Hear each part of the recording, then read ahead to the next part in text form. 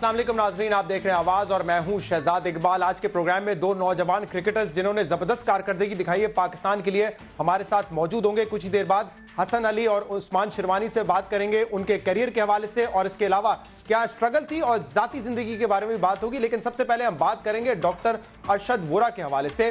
جنہوں نے recently M Q M Pakistan چھوڑ کے پی ایس پی جوائن کی، آج ایکسپیکٹڈ تھا کہ سٹی کاؤنسل کے اجلاس میں عدم اعتماد کا ووٹ لایا جائے گا ان کے خلاف، تاکہ ان کو ان کے جو منصب ہے، اس پر سے ہٹایا جا سکے، لیکن ایسا ہوا نہیں۔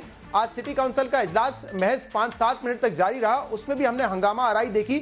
میئر وسیم اختر کے خلاف نعرے لگتے رہے، چور کرپشن یہ نعرے لگتے گئے، لگتے رہے جو کہ ایم کیو ایم کے حوالے سے پہلے نہیں سنے گئے ہیں۔ کیا وجہ ہے اور کیوں عدم اعتماد کی تحریک نہیں لائی؟ کیو ایم پاکستان ڈاکٹر وورا کے خلاف اس پر بات کرنے کے لیے ہمیں جوائن کیا ہے۔ میئر کراچی، وسیم اختر نے وسیم اختر صاحب، بہت بہت شکریہ وقت دینے کے لیے۔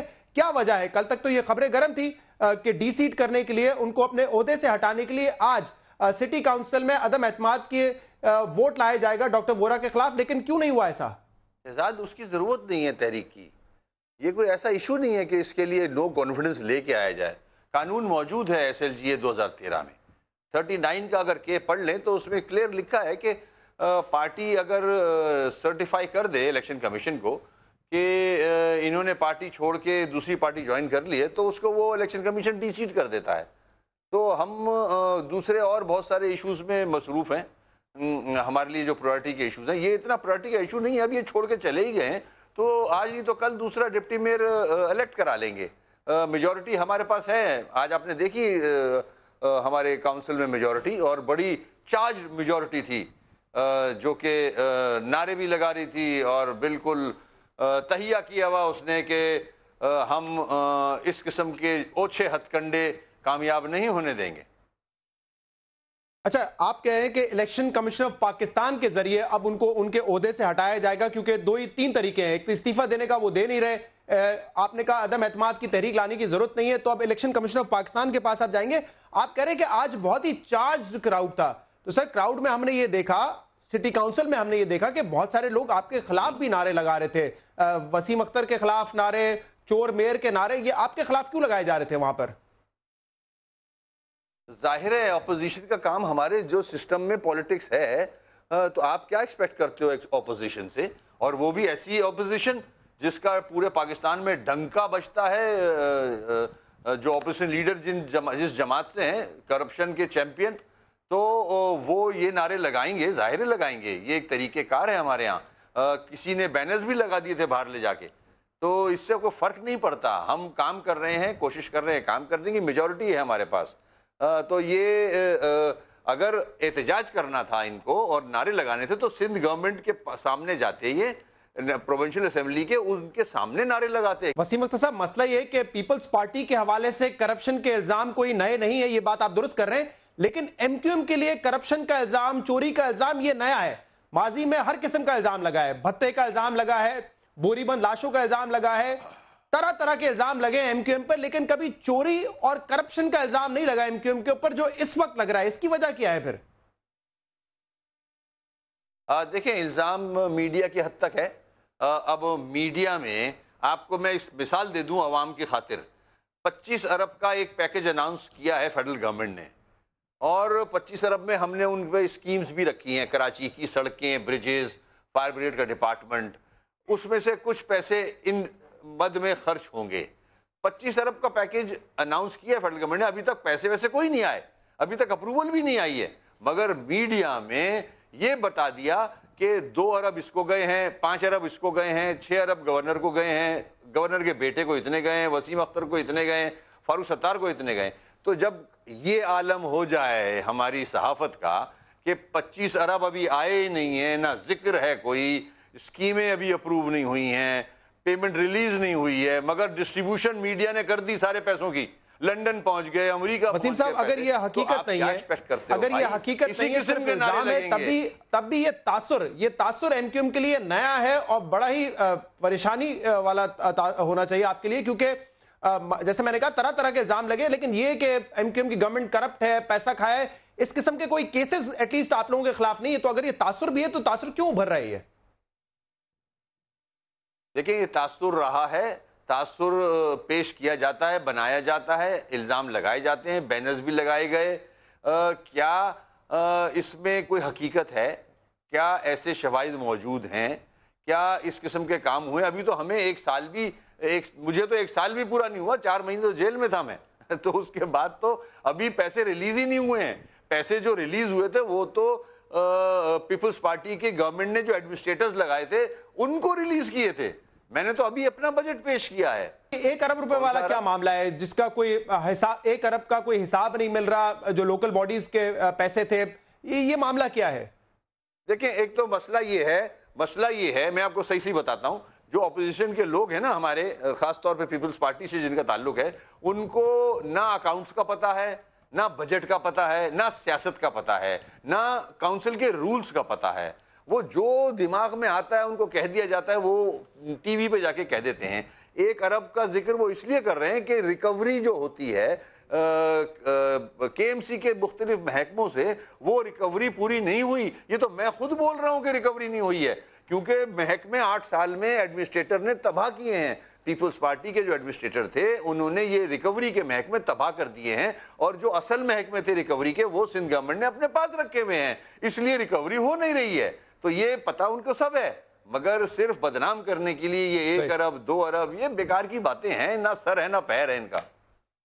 اہم سوال یہ بھی ہے وسیم اختر صاحب کہ ڈیپیوٹی میئر آپ کے ڈیپیوٹی میئر ڈاکٹر وورا صاحب پارٹی چھوڑ کر گئے کیوں؟ وہ کہہ رہے ہیں کہ پچھلے چار پانچ مہینے سے میں بڑا پریشان تھا۔ جو مین وجہ انہوں نے ایک بتائی ہے وہ یہ کہ ہماری حکومت ہماری لوکل باڈی گورنمنٹ ہماری پارٹی ڈیلیور نہیں کر پائی اور یہ بھی باتیں کہ آپ سے بڑے شدید اختلافات تھے وہ چاہتے تھے کچھ محکمے ان کو دیے جائیں۔ آپ اس پہ راضی نہیں تھے، اختیارات کی جنگ تھی، اختلافات آپ سے شدید تھے، یہ ایک بڑی وجہ بتائی جا رہی ہے ان کے چھوڑ کے جانے کی۔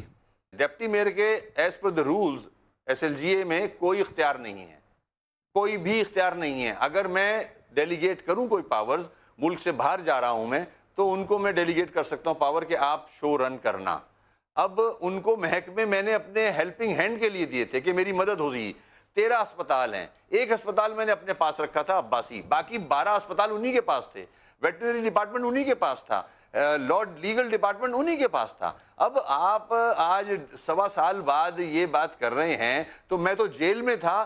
تو جب آپ نے کیا کر لیا؟ چار پانچ مہینے تو آپ کے پاس تھی آل ان آل حکومت۔ تو آپ اچھا پھر آپ بھی تو مجھ سے زیادہ رونا روئے ہو کہ اختیارات نہیں ہیں، مسائل نہیں ہیں، اب وسائل نہیں ہیں کام کرنے نہیں دے جا رہے یہ ریکارڈ پہ ہیں ساری چیزیں۔ وہ خود بھی یہی آواز نکالتے رہے ہیں اٹھاتے رہے ہیں۔ تو آج ہی اچانک کیسے آ گیا؟ وجہ دوسری آپ بھی جانتے ہو میں بھی جانتا ہوں۔ وہ وہ کون سی شکایات ہیں جو کہ وہ پچھلے تین چار مہینے سے لے کر رابطہ کمیٹی کے پاس اور فاروق ستار صاحب کے پاس لے کے جاتے تھے کہ مجھے کام نہیں کرنے دیا جا رہا مجھے بڑی مشکلات آ رہی ہیں وہ کون سی شکایت اور شکوے ہیں پھر؟ میں نے آپ کو ایس ایل جی کا بتایا کام ان کا بنتا نہیں ہے۔ رولز میں ایس ایل جی دو ہزار تیرہ میں ان کا فنکشن ہے نہیں۔ ان کے پاس کوئی بھی اختیارات نہیں ہوتے ہیں جو میں نہیں کہہ رہا یہ دو ہزار تیرہ کا ایکٹ کہہ رہا ہے۔ لیکن لیکن آپ یہ مان رہے کہ اس بات پہ اختلاف ضرور تھا میں رہتے ہوئے کام کرتے۔ اس حوالے سے میرے سے کوئی اختلاف نہیں تھا۔ آپ پارٹی چھوڑ کے اٹھا رہا تھا۔ اور ڈپٹی میئرشپ نہیں چھوڑ رہے ہیں یہ تو عجیب سے بات آتی ہے نا۔ منع کر دیا آپ نے۔ یہ بات عجیب آپ ٹھیک کہہ رہے ہیں۔ یہ پروسیجر ہے لا کا اس پہ ہو جائے گا وہ۔ صحیح، یہ آپ بات ٹھیک کہہ رہے ہیں کہ انہوں نے اپنی پوزیشن سے استعفیٰ نہیں دیا اور پارٹی چھوڑ کے وہ چلے گئے۔ یہ بات سمجھ سے بالا تر ہے، لیکن یہ بتائیے گا کہ یہ تو کہہ رہے ہیں کہ میں ایک عرصے سے شکایت کر رہا تھا۔ اب وہ یہ بھی کہتے ہیں کہ ہمارے پاس جو وسائل اور جو اختیارات تھے، اس میں بھی ہم ڈیلیور نہیں کر پائے۔ ہماری کارکردگی صفر ہے۔ یہ بالکل ٹھیک کہہ رہے ہیں۔ یہ خود مجھ سے زیادہ کہتے رہے ہیں۔ میں تو چار مہینے جیل میں تھا اس سے پہلے سے یہ کہتے رہے ریکارڈ پہ آپ کے پاس بھی ٹی وی پہ نکال لینا اپنے چینل سے کہ میرے ہاتھ بندے ہوئے ہیں اختیارات نہیں ہیں ہم کام نہیں کرنے دیا جا رہا ہمیں ہمارے وسائل روکے ہوئے ہیں ہمیں اختیارات نہیں دیے یہ تو اپنے خود کے اسٹیٹمنٹ ہیں ان کے ریکارڈ پہ۔ یہ خود کہتے رہے ہیں یہ کہہ رہے ہیں کہ جو وسائل تھے اس کو بھی ہم نے استعمال نہیں کیا۔ وہ کہہ رہے ہیں جتنے اختیارات تھے وہ بھی استعمال نہیں ہوئے۔ ہماری کارکردگی صفر ہے اختیارات محدود اختیارات بھی ہم نے استعمال نہیں کیا وہ یہ کہہ رہے ہیں۔ ہاں جب اختیارات اس قسم کے ہوں گے تو وہ ڈپارٹمنٹ سے بھی آپ چیزیں ریزولو نہیں کر سکتے۔ دو کروڑ کے سے زیادہ میں کوئی پروجیکٹ دے نہیں سکتا۔ دو کروڑ میں تو پانچ سو گز کا گھر نہیں بنتا۔ تو دو کروڑ میں کیسے بڑے پروجیکٹ دیے جائیں گے؟ میگا پروجیکٹس بڑے جہاں سے ریکوری ہوتی ہے، وہ ساری سندھ گورنمنٹ نے اپنے پاس رکھی ہوئی۔ ان کو سب پتا ہے کہ ہمارے پاس اختیارات کتنے ہیں۔ اور اگر ایسا تھا تو آپ کے پاس جو محکمے تھے، اس میں ڈیلیور کر لیتے۔ یہ مجھے بتائیے گا کہ اس وقت بڑی یہ سٹوریز نکل رہی ہیں، خبریں ہیں کہ ایم کیو ایم پاکستان میں گروپ بندی ہو گئی ہے، مختلف گروپس ہیں۔ تو وسیم اختر صاحب، آپ کس گروپ کا حصہ ہیں؟ گروپ گروپ کوئی نہیں ہے، جو باہر نکلتا ہے تو پھر وہ بات کرتا ہے، یہ والی اس کے بعد جب کچھ نہیں رہتا بات کرنے کے لیے، تو وہ کرپشن کی طرف جاتا ہے، وہ گروپس کی طرف جاتا ہے۔ جب پارٹی میں ہوتا ہے آدمی تو پھر وہ باتیں نہیں کرتا۔ قیادت سے جا کے جو کیا نام ہے جو سربراہ ہیں پارٹی کے ان سے جا کے کرتا کہ بھائی اتنے گروپ بن گئے ہیں اس کو روکیں۔ تو وہاں تو کی نہیں آج آپ کو چھ گروپ نظر آ رہے ہیں آج آپ کو کرپشن نظر آ رہی ہے۔ تو یہ صرف پاکستان کی پالیٹکس میں بدقسمتی سے یہ چیزیں ہیں یہ اوچے ہتھ کنڈے کیے جاتے ہیں۔ ہم میرے پاس اتنا ٹائم نہیں ہے کہ میں ان سارے سوالوں کا جواب دوں مجھے بہت سارے چیلنجز میرے سامنے ہیں۔ کراچی کا بہت برا حال لیکن لیکن یہ یہ میں آپ سے ضرور پوچھوں گا وسیم اختر صاحب۔ کوشش کر رہا ہوں بہتر کرنے کی۔ یہ میں آپ سے ضرور پوچھوں گا کہ کیا آپ کو ڈاکٹر جی۔ فاروق ستار صاحب کی قیادت پہ مکمل اعتماد ہے؟ جبھی تو ہم سارے ان کو فالو کر رہے ہیں۔ ورنہ تو نہیں کرتے۔ ہم نے ایک سٹیپ لیا ہے اور ہم لنڈن سے الگ ہوئے ہیں اور فاروق بھائی کو لیڈر بنایا ہے اور سارے متفق ہیں ان کے پیچھے ہیں۔ ایک چیز میں آپ کے سامنے رکھ دیتا ہوں۔ پی ایس پی نے آپ کی پارٹی کو ڈیمیج تو کیا ہے۔ دس ایم پی ایس چلے گئے، ایک ایم این اے چلے گئے، آج ڈیپیوٹی میئر چلے گئے۔ اب مجھے ذرا بتائیے، اگر یہی حالات رہے تو دو ہزار اٹھارہ تک ایم کیو ایم پاکستان کہاں کھڑی ہوگی؟ کل ہمارے پروگرام میں انیس قائم خانی صاحب کہہ رہے تھے، ننانوے فیصد لوگ جو ہیں ایم کیو ایم پاکستان کے ہم سے ڈائریکٹلی انڈائریکٹلی کانٹیکٹ میں ہیں۔ دیکھیں شہزاد، آپ بہت اچھی طرح جانتے ہو پاکستان کی پالیٹکس اور ہر جماعت کی پالیٹکس یہ الیکٹیبلز نہیں ہیں۔ جو لوگ گئے ہیں، ان کی پارٹی سے جاننے کے بعد کوئی حیثیت نہیں رہتی۔ یہ گھر کا ووٹ مشکل شاید ملے ان کو۔ Mandate M Q M Pakistan کے پاس ہے، ایک سو چودہ میں اٹھارہ ہزار ووٹ پڑا ہے۔ آپ نے آج کاؤنسل کا اجلاس دیکھ لیا، کتنا آدمی موجود تھا ادھر۔ ایم کیو ایم پاکستان کے فیور میں موجود تھا۔ تو یہ جو جاتے ہیں یہ پوری دنیا پورے پاکستان میں مختلف جماعتوں میں سے بھی لوگ گئے ہیں۔ بڑے بڑے لوگ گئے ہیں پھر واپس آئے ہیں ادھر ادھر جاتے رہتے ہیں۔ یہ سسٹم بنا ہوا ہے ہمارا۔ یہ آپ نے یہ کیوں کہا؟ یہ فکس ڈپوزٹ ہے آپ کا۔ پی ایس پی جو ہے وہ ایم کیو ایم پاکستان کا فکس ڈپوزٹ ہے۔ یہ کیوں کہا آپ نے آج؟ بھائی جب سارے سوالات صحافی کریں گے تو کوئی نہ کوئی جواب تو دینا ہی ہے ان کو میں نے کہ وہ جو گئے ہیں وہ کسی پریشر میں گئے ہیں سارے میجورٹی میں نوٹ سارے۔ میجورٹی میں جو گئے ہیں وہ انڈر پریشر گئے ہیں۔ تو وہ جب یہ پریشر الیکشن میں ریلیز ہوگا انشاءاللہ دو ہزار اٹھارہ میں ہم سویپ کریں گے۔ تو جب یہ ریلیز ہوگا تو یہ میرے بھائی سب واپس آئیں گے۔ یہ میرے بھائی ہیں سارے۔ یہ آ جائیں گے واپس آپ فکر نہیں کرو۔ اور سب واپس آئیں گے۔ اچھا کے ساتھ آئیں گے۔ انٹرسٹ کے ساتھ۔ انٹرسٹ کے ساتھ آئیں گے۔ اچھا مطلب ایک دو ساتھیوں کو اور لے کر آئیں گے شاید ایم پاکستان میں۔ ایک آخری سوال کیونکہ آپ کہہ رہے ہیں کہ زیادہ تر لوگ دباؤ کی وجہ سے گئے نا فکس ڈپوزٹ میں انٹرسٹ ملتا ہے۔ صحیح ہے۔ کیونکہ آپ کہہ رہے ہیں زیادہ تر لوگ دباؤ کی وجہ سے گئے تو کیسز آپ پر بھی ہیں۔ اور ظاہر سی بات ہے، دباؤ انہی پر پڑ سکتا ہے جن کے اوپر کوئی کیسز ہو تو وہ دباؤ آپ پر بھی ڈالنے کی کوشش کی گئی ہے کہ آپ بھی چھوڑیں ایم کیو ایم پاکستان اور آ جائیے پی ایس پی میں۔ جب وہ وقت آیا تو دیکھیں گے۔ وہ جو دباؤ تھا میرا، وہ تو میں نے گزار لیا۔ اب اگر پھر سے آیا تو اس کو بھی دیکھیں گے۔ مزے کی بات، آپ کو اور بتاتا چلوں، جو دباؤ میں گئے ہیں، جو بڑے بڑے ببانگ دہل دعوے کیے جاتے ہیں لیڈران کی طرف سے سو کالڈ لیڈران وہ سارے جو گئے ہیں وہ آج بھی پکش لے رہے ہیں نیشنل اسمبلی سے پروونشل اسمبلی سے۔ جی جی میں اس سے واقف ہوں۔ پکش لے رہے ہیں وہ۔ کس بات کا ریزگنیشن ہے وہ؟ سب ڈرامہ ہے یہ۔ بہت بہت شکریہ۔ میر وسیم اختر ہمارے ساتھ موجود تھے اور کہہ رہے تھے عدم اعتماد کا ووٹ لانے کی ضرورت نہیں ہے۔ ڈاکٹر وورا کے خلاف ہمارے پاس ان کو ڈی سیٹ کرنے کے لیے الیکشن کمیشن آف پاکستان کا ذریعہ موجود ہے۔ پروگرام میں شامل کریں گے ایک بریک اور اس کے بعد دو نوجوان کھلاڑی۔ جن کی بڑی زبردست پرفارمنس رہی ہے پاکستان کرکٹ ٹیم کے لیے، ہمارے ساتھ موجود ہوں گے، حسن علی ہوں گے، عثمان شنواری ہوں گے، ان سے کرکٹ کے بارے میں بات کریں گے اور خاص طور پہ جو ان کی سٹرگل ہے یہاں تک پہنچنے کے لیے اور ان کی ذاتی زندگی کے بارے میں بات کریں گے۔ ایک بریک کے بعد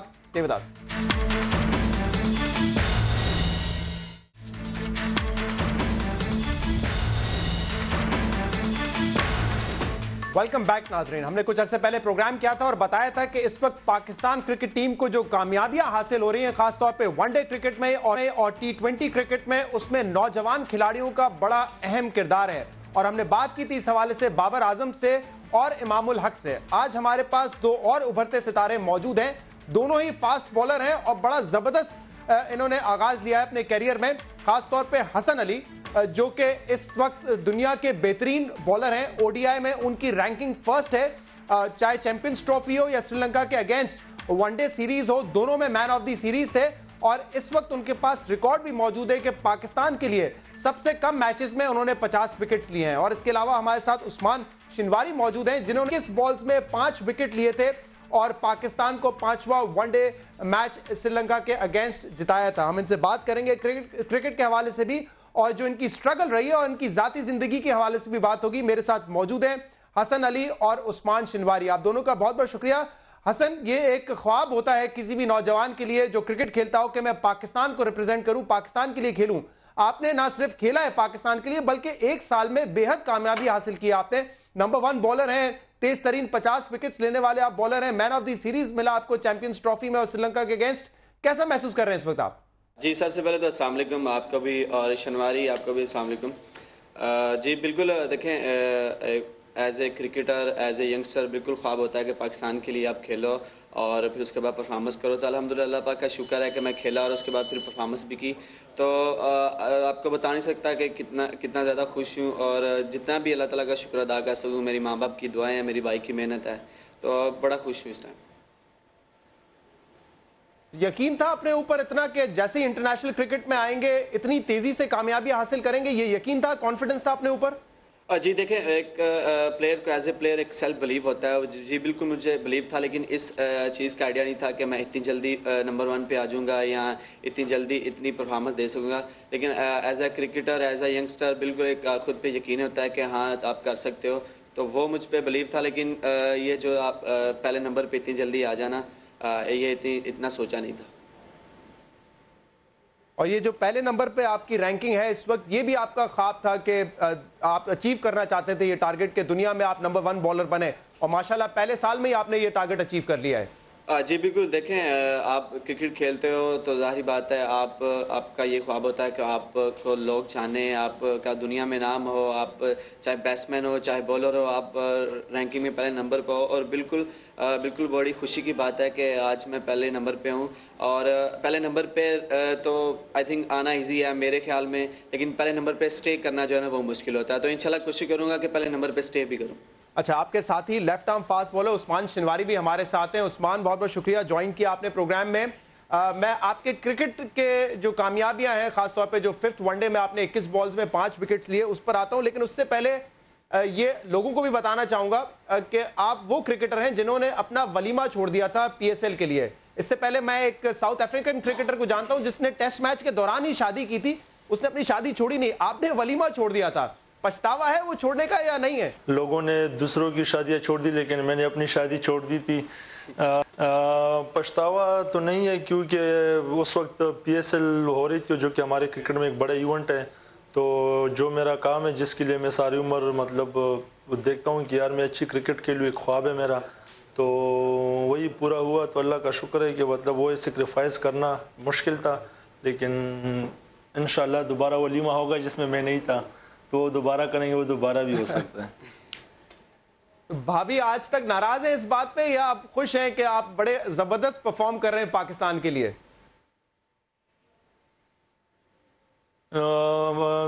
وہ اللہ کا شکر ہے کہ مطلب اس کو خوشی بھی ہوتی ہے کہ میں پاکستان ٹیم میں کھیل رہا ہوں اور پرفارم کر رہا ہوں اور دوسری طرف اس کو یہ دکھ ہوتا ہے کہ آپ کے زیادہ سے زیادہ وقت گھر سے باہر گزرتا ہے گھر میں تو آپ کا وقت گزرتا ہی نہیں ہے۔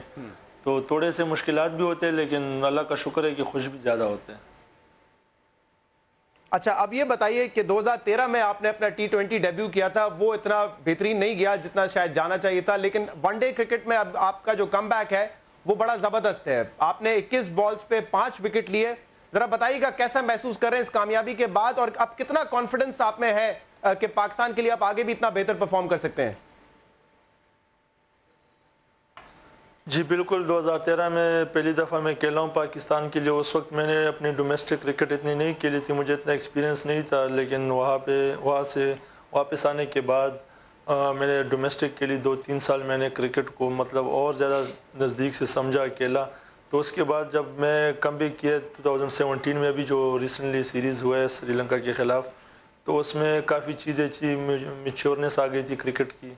تو وہی ہوا مطلب جو وکٹ کی سچویشن تھی وغیرہ، اس کے مطابق ہم نے بالنگ کی اور سوچا تھا کہ انشاءاللہ کم بیک کرنا ہے، تو اسٹرانگ کم بیک کرنا ہے اور اللہ کا فضل ہے کہ اللہ نے عزت دی۔ تھوڑا پیچھے آتے ہیں حسن علی، کیونکہ ابھی تو لوگ آپ کو دیکھ رہے ہیں، آپ کی کامیابیوں کو دیکھ رہے ہیں اپریشیٹ کر رہے ہیں۔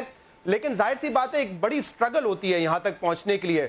اس سٹرگل پر میں چاہوں گا آپ سے بات کروں، لیکن سٹارٹنگ پوائنٹ اس کا یہ ہونا چاہیے کہ گجرا والا، جہاں سے آپ تعلق رکھتے ہیں، وہ تو پہلوانوں کا شہر ہے۔ تو وہاں پہ کرکٹ کا شوق کیسے پیدا ہوا اور سٹرگل کیا تھی یہاں تک پہنچنے کے لیے؟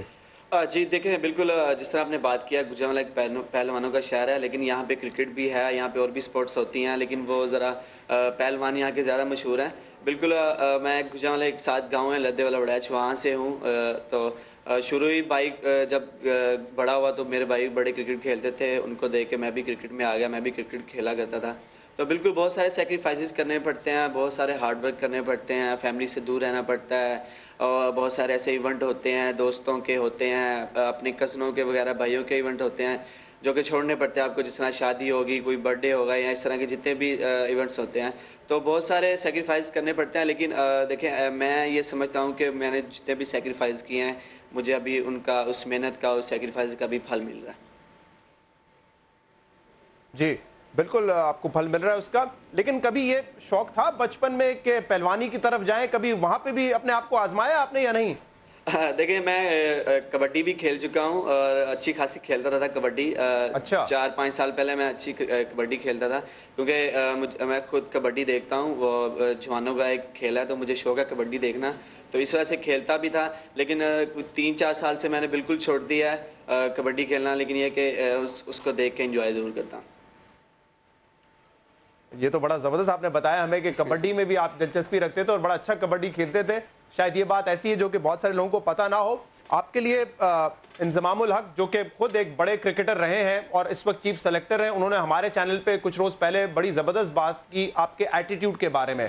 انہوں نے کہا کہ حسن علی کی کامیابی کا راز ہے اس کا ایگریشن جس ایگریسو ایٹیٹیوڈ کے ساتھ وہ کرکٹ کھیلتا ہے، وہ فاسٹ بولر کے لیے ضروری ہے اور اسی لیے وہ اتنے کامیاب ہیں۔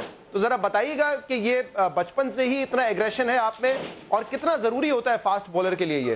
ہاں جی بالکل۔ دیکھیں جو فاسٹ بولر کا ایک شعبہ ہے، وہ تھوڑا ڈیفرنٹ ہے۔ اس میں ایگریشن ہونے ضروری ہیں اور جس طرح آپ نے بات کی ہے، تو یہ بالکل شروع میں چھوٹے ہوتے ہی مجھ میں یہ گریشن مطلب پائے جاتے ہیں، تو اٹس اے نیچرل تو لیکن اس کے بعد باوجود جتنے بھی بڑے پلیئرز ہیں، جتنے بھی بڑے بولرز ہیں، آپ ان کو دیکھیں گے کہ ان میں اس طرح کے گریشن پائے جاتے ہیں۔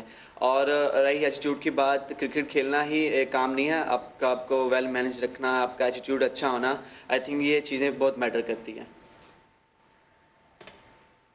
جی بولنگ کا مطلب کیا آپ کے ٹارگٹ کیا ہوتا ہے کہ ہر بال پہ وکٹ لینی ہے پلان کرنا ہے؟ کس مائنڈ سیٹ کے ساتھ آپ داخل ہوتے ہیں میدان میں؟ جو میرا رول ہے جو مجھے رول دیا گیا ہے یا جس طرح مجھے بولا جاتا ہے بولنگ کرنے کے لیے تو میں ہمیشہ دیکھتا ہوں کہ میں نے وکٹ کس طرح نکالنے ہیں۔ کیونکہ میں اس حصے میں میچ کے بولنگ کرتا ہوں کہ جہاں پہ ٹیم کو وکٹس کی ضرورت ہوتی ہے۔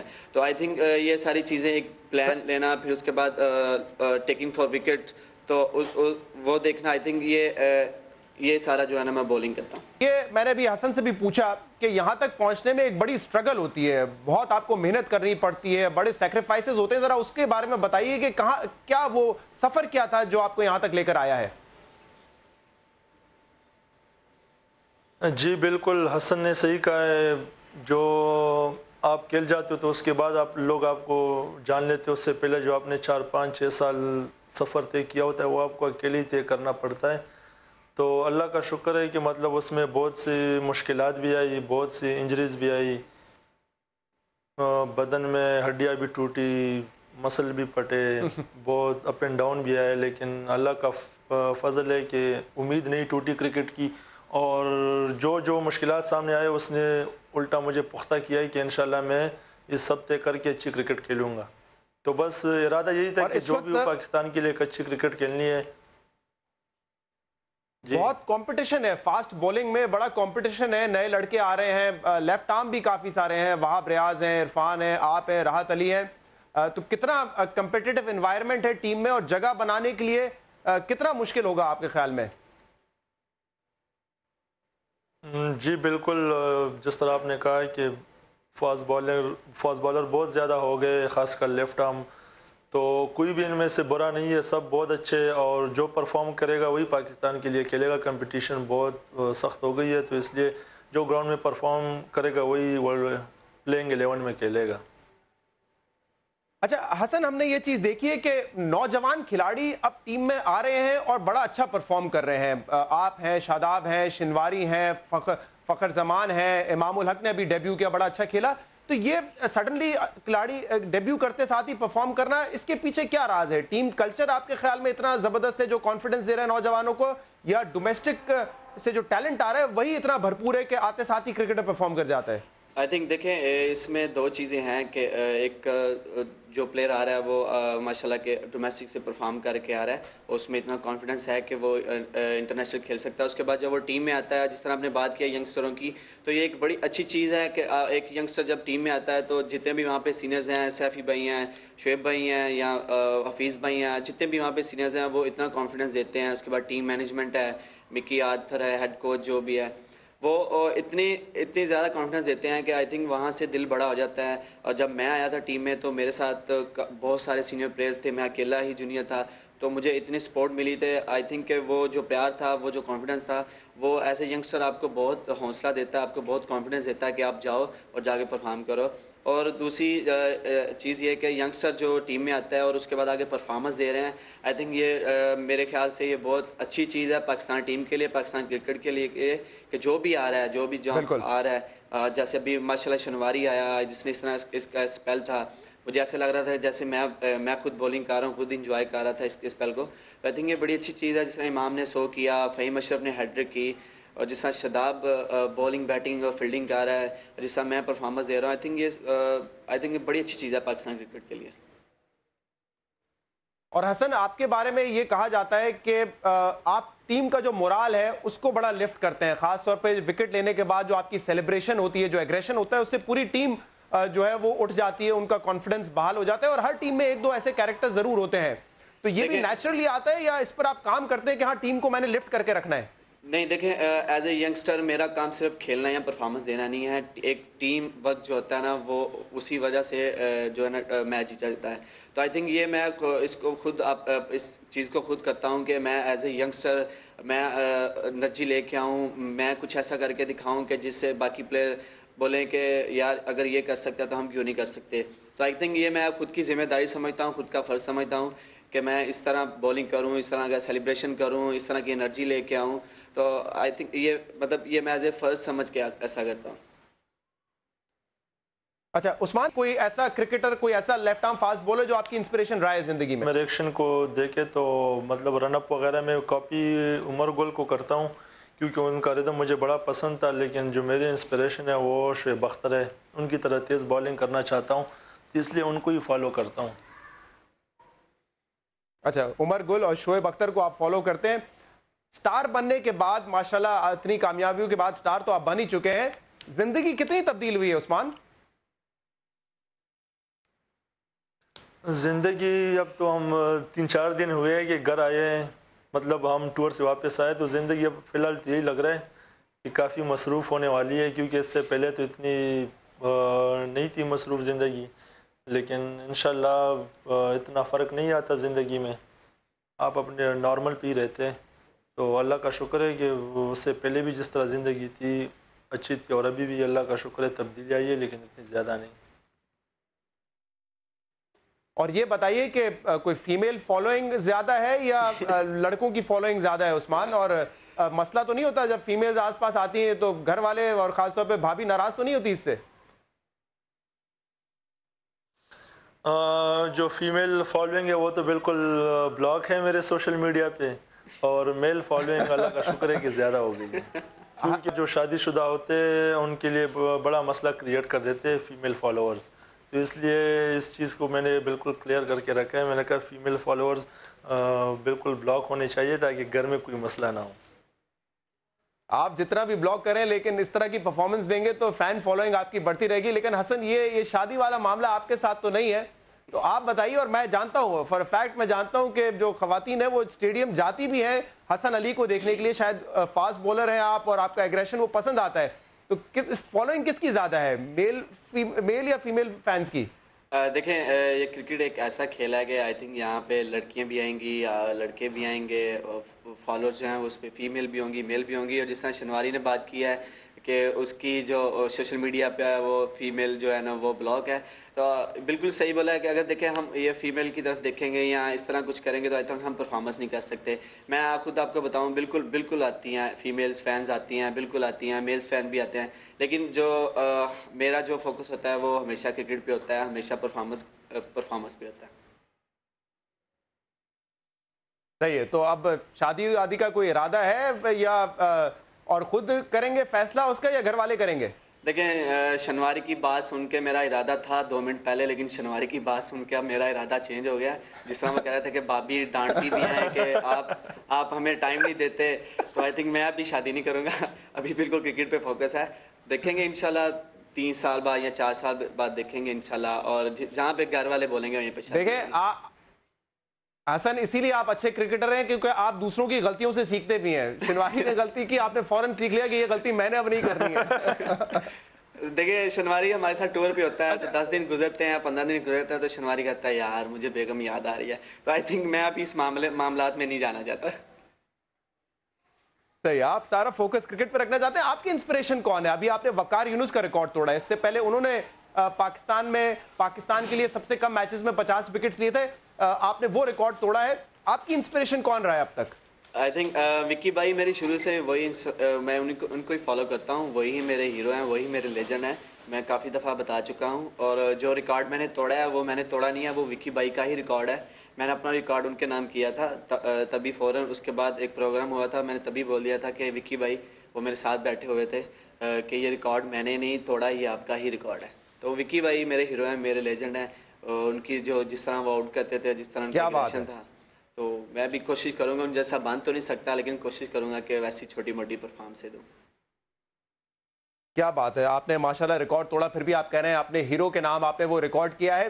یہ میڈیا فینز حسن کامیابی کے بعد یہ ظاہر سی بات ہے کرکٹر کا پیچھا کرتے ہیں۔ تو کتنا مشکل ہوتا ہے کرکٹر کے لیے ہمبل رہنا۔ جیسے اس وقت میں آپ کو دیکھ رہا ہوں کہ آپ کہہ رہے ہیں کہ یہ کامیابی میری جو ہے میں نے اپنے ہیرو کے نام کر دی، کتنا مشکل ہوتا ہے جب فینس فالوئنگ ہوتی ہے میڈیا فالو کر رہا ہوتا ہے، اشتہار ملنا شروع ہو جاتے ہیں یہ سب چیز کے بعد۔ آئی تھنک بالکل بالکل تھوڑی سی لائف جو ہے نا، وہ تھوڑی ٹف ہو جاتی ہے۔ لیکن میں یہاں پہ یہ نہیں کہوں گا کہ یہ لائف کس طرح سے ہوگی۔ الحمد للہ اللہ کا شکر ہے، یہ پہلے ہم چاہتے ہیں کہ ہم سٹار بنیں۔ اور آپ جب سٹار بنتے ہو تو ظاہری بات ہے، یہ چیزیں میڈیا آپ کے پیچھے آئے گا۔ آپ کے فینز آپ کے پیچھے آئیں گے، تو بالکل تھوڑی لائف ٹف ہوتی ہے، لیکن یہ ہے کہ اس کو میں، آپ مینج کس طرح کرتے ہو؟ اچھا عثمان آخری سوال اب میں آ رہا ہوں آپ دونوں کی طرف۔ عثمان آپ نے دیکھا ہے پاکستان میں ماشاءاللہ کرکٹ بحال ہو گئی ہے ورلڈ الیون آئی، سری لنکا کی ٹیم آئی، اب ایکسپیکٹڈ ہے کہ ویسٹ انڈیز آئے گی۔ تو آپ ان لکی کرکٹرز میں ہوں گے جن کو ہوم گراؤنڈ میں کھیلنے کا موقع ملے گا کیونکہ پچھلے آٹھ نو سال میں جو کرکٹ نہیں ہوئی ہے، بہت سارے کرکٹرز ایسے تھے جنہوں نے اپنا پہلا میچ جا کے آٹھ آٹھ سال بعد کھیلا ہے، جیسے محمد عامر ہیں، سرفراز نے کافی عرصے بعد کھیلا پاکستان میں۔ تو یہ کتنا فخر کی بات ہوتی ہے کہ اپنے ملک میں کھیلنا، اپنے فینس کے سامنے کھیلنا۔ بالکل، ابھی سری لنکا آئی تھی سب سے پہلے میں اس شکریہ ادا کروں گا سری لنکا ٹیم کا، جو کہ مطلب اتنے ایک بڑے حادثے کے بعد وہ انہوں نے، ان کی پھر ہمت ہوئی اور پاکستان آ گئے اور ان کا بہت بہت شکریہ۔ دوسری بات یہ ہے کہ آپ کو اپنے ہوم گراؤنڈ کا بہت فائدہ ہوتا ہے۔ ایک تو آپ کا جو کراؤڈ ہے بے شک آپ دبئی میں کھیلو، جدھر بھی کھیلو، ادھر بھی سپورٹ کرنے کے لیے بہت آتے ہیں۔ لیکن آپ کا جو اپنا ہوم گراؤنڈ ہوتا ہے اور ہوم کراؤڈ ہوتا ہے، اس میں کھیلنے کا مزہ ہی الگ ہے۔ اور دوسرا یہ کہ ادھر کرکٹ بحال ہوگی تو ہماری پلیئرز کو بہت فائدہ ہوگا، کیونکہ یہی جو ہماری ڈومیسٹک وغیرہ ہوتی ہے، انہی گراؤنڈوں پہ ہوتی ہے۔ تو اگر آپ کی انٹرنیشنل کرکٹ اسی گراؤنڈوں پہ کھیلی جائے گی، تو کم سے کم آپ کے پلیئرز کو بھی بہت کانفیڈنس ملے گا۔ تو میں تو سمجھتا ہوں کہ یہ ہماری پاکستان کے لیے اور ہمارے کرکٹرز کے لیے بہت بڑی خوشی کی بات ہے کہ ہمارے ملک میں انٹرنیشنل کرکٹ بحال ہو جائے۔ بالکل ہے۔ حسن، اس چیز کا آپ بھی جواب دے دیجیے گا۔ آپ نے کھیلا لاہور میں سری لنکا کے اگینسٹ، ورلڈ الیون کے اگینسٹ، کیسا فیل کر رہے تھے؟ اور دوسرا آپ کے بارے میں کہا جاتا ہے کہ آپ پرانا بال کرنا پسند کرتے ہیں۔ ریورس سوئنگ آپ کی ایک سٹرینتھ ہے، خاص طور پہ جو بال اندر آتا ہے بیٹسمین کو رائٹ ہینڈ بیٹسمین کو۔ اس کے بارے میں ذرا بتائیے گا کہ پرانا بال زیادہ پریفر کرتے ہیں آپ نئے بال پر؟ دیکھیں جب میں ٹیم میں آیا تو میں نے نیا بول کرنا شروع کیا تھا، ٹھیک اور اس کے بعد سڈنلی مجھے بولا گیا کہ آپ پرانا بول کرو گے، تو آئی تھنک میں کمفرٹیبل ہوں دونوں میں، کیونکہ میں اپنی کنٹری کے لیے کھیل رہا ہوں، مجھے جہاں پہ جو بول دیا جائے گا، میں انشاءاللہ وہ کوشش کروں گا، اور جیسے آپ نے بات کیا کہ ریورس سوئنگ کرنا آئی تھنک وہ جو میرا رول ہے، تو مجھے ان چیزوں پہ کام کرنا پڑے گا، کہ جب میں پرانے بول کے ساتھ آؤں، تو تب بول پرانا ہوتا ہے، تب سیم نہیں ہو رہا ہوتا، تو آئی تھنک وہاں پہ ریورس کرنے کا جو ہوتا ہے ضروری ہوتا ہے کیونکہ آپ کو وکٹس چاہیے۔ تو آئی تھنک مجھے نئے بول میں بھی کوئی مسئلہ نہیں ہے میں نیا بول بھی کرتا رہا ہوں ڈومیسٹک میں بھی نیا بول کرتا ہوں اور اس کے بعد پرانے میں بھی مجھے کوئی مشکل نہیں ہے۔ اور دوسری بات آپ نے جو کیا ہے جی۔ یہاں پہ کرکٹ جو ہے الحمد للہ کا شکر ہے کہ یہاں پہ ورلڈ الیون آئی اس کے پہلے پی ایس ایل کا فائنل ہوا یہاں پہ اس کے بعد ورلڈ الیون آئی پھر سری لنکا آئی۔ آئی تھنک یہ بڑی اچھی چیز ہے اور یہاں پہ جتنا بھی کریڈٹ آپ پی سی بی کو دیں نجم سٹی صاحب کو دیں اتنا ہی کم ہے کہ ان کی کوششیں جو رنگ لے آئی ہیں اور پوری دنیا میں پتہ چل رہا ہے کہ ہم پرامن لوگ ہیں ہم بہت پیار کرنے والے لوگ ہیں اور اپنے کراؤڈ کے آگے کھیلنے کا الگ ہی مزہ میں اس کی مثال یہ دے سکتا ہوں کہ جس طرح ہم چیمپئن ٹرافی کا فائنل جیتے اور جس طرح وہ ایک سائڈ پہ اور اپنے کراؤڈ کے آگے کھیلنا ایک سائڈ پہ ہے۔ تو آئی تھنک یہ ینگسٹروں کے لیے بھی بہت فائدہ مند ہوگا کہ پاکستان میں کرکٹ آ رہی ہے۔ تو نئے لڑکے اٹھیں گے کرکٹ کھیلیں گے، ان میں کرکٹ کا شوق آئے گا۔ بالکل ہوگا بالکل ہوگا۔ حسن، آپ کا بہت شکریہ۔ عثمان، آپ کا بہت شکریہ۔ ہم امید کرتے ہیں کہ آپ پاکستان کے لیے ایسا ہی پرفارم کرتے رہیں۔ زبردست کارکردگی دکھائیں۔ ہماری دعائیں آپ کے ساتھ ہیں، ہماری سپورٹ آپ کے ساتھ ہے۔ Thank you very much Usman اور حسن آپ نے پروگرام کے حصے میں جوائن کیا. یہ وہ نوجوان کھلاڑی ہیں جو کہ پاکستان کا کر رہے ہیں، پاکستان کو کامیابیاں دلا رہے ہیں۔ سری لنکا کے ساتھ بھی ون ڈے سیریز میں فائیو زیرو سویپ کیا T twenty three zero sweep کیا اور ایسا لگتا ہے کہ اس وقت پاکستان کی جو ذمہ داری ہے، پاکستان کو جتوانے کی جو ذمہ داری ہے وہ انہوں نے اپنے کاندھوں پہ لی ہوئی ہے، نوجوان کھلاڑیوں نے۔ پروگرام میں شامل کریں گے ایک بریک، اس کے بعد دوبارہ آپ کے سامنے حاضر ہوں گے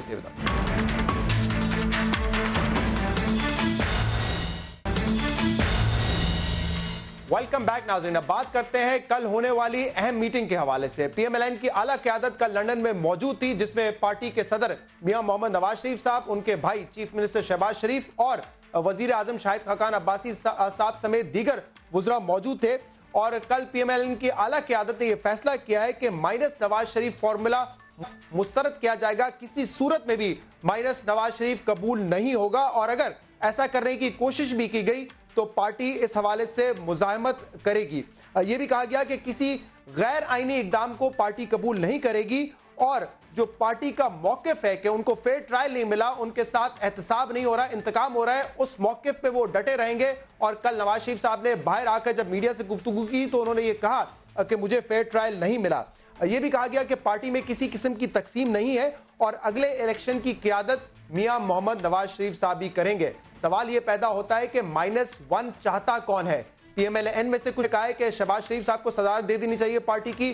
اپوزیشن کا یہ مطالبہ ہے یا کوئی اور یہ مطالبہ کر رہا ہے کہ نواز شریف کو اگر سائیڈ لائن کر دیا جائے تو پارٹی کے معاملات درست ہو سکتے ہیں اور اس پہ بات کرنے کے لیے ہمارے ساتھ موجود ہیں۔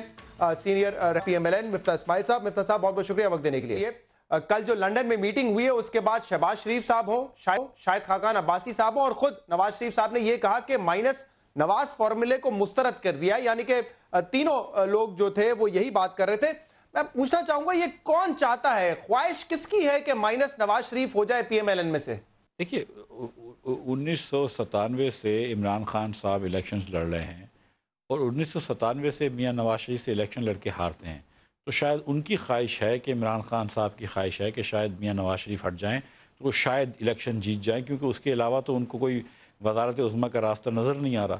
لیکن پاکستان کے نہ صاحب پاکستان کے عوام کی خواہش ہے اور نہ پی ایم ایل این کی خواہش ہے کہ میاں نواز شریف جو ہے وہ پولیٹیکل سین سے ہٹ جائیں۔ لیکن صرف عمران خان صاحب یہ نعرے لگا رہے ہوں، یہ مطالبہ کر رہے ہوں، اس پر ایسا تو نہیں ہو سکتا کہ تمام لوگ لنڈن میں جا کر اہم مشاورت کریں اور پھر یہ بیان دیں۔ ظاہر سی بات ہے، آواز کہیں اور سے اٹھ رہی ہے، خواہش کہیں اور سے اٹھ رہی ہے، جس کو ایڈریس کرنے کی ضرورت تھی۔ اور خاص طور پہ آپ ہی کی پارٹی میں سے ریاض پیرزادہ صاحب نے ایک تو یہ بات کی ہے کہ پارٹی کی لیڈرشپ شہباز شریف صاحب کو دے دی جائے۔ جمالی صاحب نے یہی بات کی جنہوں نے ریسنٹلی آپ کی پارٹی کو چھوڑا ہے۔ ریاض پیرزادہ صاحب کی ایک اپنا رائے ہو سکتی ہے۔ جمالی صاحب کی اپنی رائے ہے، بڑے محترم ہیں۔ اپنی رائے ہو سکتی ہے۔ ہر آدمی کو تو نواز شریف سے عشق یا نواز شریف کی فین ہونا یا نواز شریف کا فالوور ہونا ضروری نہیں ہے، لیکن ایک پاکستان کی اکثریت نے نواز شریف کو ووٹ دیا ہے۔ لیکن پارٹی کے اندر دو رائے ہو سکتی ہیں۔ بالکل لوگ سوچ سکتے ہیں کہ شہباز شریف صاحب کو یا کسی اور کو پارٹی کا لیڈر ہونا چاہیے، لیکن ایک بھاری اکثریت پارٹی کی ہے۔ بھاری اکثریت جو ہے، وہ یہ چاہتی ہے کہ میاں نواز شریف جو ہے، وہ پارٹی کو لیڈ کریں۔ اور اسی لیے ایک ایک لیکن میں پوچھنا یہ چاہوں گا مفتہ صاحب کہ کیا کوئی پیغام پہنچایا گیا ہے کہ آپ کے معاملات حل ہو جائیں گے؟ اگر نواز شریف صاحب سائیڈ لائن ہو جائیں کسی نے ایسی خواہش کا اظہار کیا ہے بند دروازوں میں بیہائنڈ دا ڈورز کوئی ایسا مطالبہ ہے کوئی ایسی خواہش کا کسی نے اظہار کیا جس کی وجہ سے بار بار یہ کہا جاتا ہے کہ نواز شریف مائنس نواز شریف فارمولا تو ایکسپٹڈ ہی نہیں ہے؟ دیکھیے گزارش یہ ہے کہ جیسے زرداری صاحب ہیں ان کے اگر آپ پیپلز پارٹی کے لوگوں کو دیکھیں تو وہ ان کے پوسٹرز نہیں لگاتے پنجاب میں۔ کیونکہ زرداری صاحب کے پوسٹرز لگانے سے ووٹ اور کم ہو جاتے ہیں۔ تو زرداری صاحب جو تھے وہ لیکن ریلیونٹ ہیں سندھ کے اندر، لیکن پنجاب میں ریلیونٹ نہیں ہیں۔ میاں نواز شریف جو ہے وہ مسلم لیگ کے لیے ہر جگہ پہ ریلیونٹ ہے۔ جہاں پہ مسلم لیگر جیتتا ہے وہ میاں نواز شریف کی شریف کی تصویر اپنے نام کے ساتھ لگاتا ہے اور ووٹ لے کے اسمبلی میں آ جاتا ہے۔ تو مسلم لیگر تو کہیں سے بھی برداشت نہیں کرے گا کہ میاں نواز شریف سے اس کو ڈیورس کر دی جائے یا میاں نواز شریف سے اس کو الگ کر دیا جائے کیونکہ ورنہ وہ ووٹ نہیں جیتے گا۔ میرا نہیں خیال ہے یہ جو بات کر رہے ہیں اور جو کنفرنٹیشن کرانے کی کوشش کر رہے ہیں اداروں میں کہ وہ کامیاب ہوں گے۔ آئی ڈونٹ تھنک کہ there is going to be any confrontation between institutions اللہ نے چاہا تو یہ کوئی بھی ایسی چیز نہیں نہ ہے نہ ہوگی۔ لیکن کیا یہ تجویز نواز شریف جو ہے جو میاں شہباز شریف صاحب اور شاہد خاقان عباسی صاحب لے کے گئے تھے کہ ہمیں دوزار اٹھارہ کے الیکشن کی طرف دیکھنا ہے۔ ہم نہیں چاہتے اداروں میں تصادم ہو یا اداروں کے حوالے سے سخت زمان استعمال کی جائے۔ اس تجویز کو مسترد نہیں کر دیا نواز شریف صاحب نے، کیونکہ آتے ساتھ پہلی جو بات انہوں نے کہی وہ یہی تھی کہ مجھے فیئر ٹرائل نہیں ملا۔ جی نہ شاید عباسی صاحب، نہ شہباز شریف صاحب ایسی کوئی تجویز لے کے گئے تھے۔ مجھے سچ مچ پتہ نہیں ہے کہ کیا تجویز لے کے گئے تھے۔ اور نہ میاں صاحب نے ان کی کوئی تجاویز کو مسترد کیا ہے۔